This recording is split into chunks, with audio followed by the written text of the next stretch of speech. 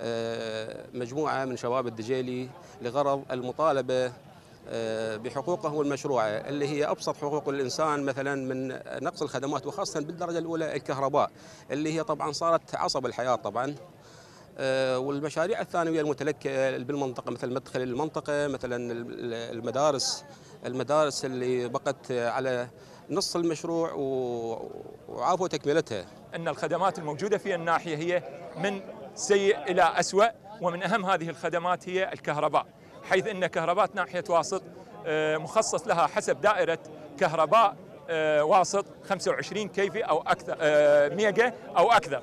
وهذه تكفي تقريبا للناحية بسبب عدم وجود المعامل فهي تكفي. كذلك بأن الحدود الإدارية لناحية واسط بدأت الكهرباء تخرج إلى آه، آه، قضاء الحي وإلى ال- آه، العمارة. المنطقة نائية تعبانة.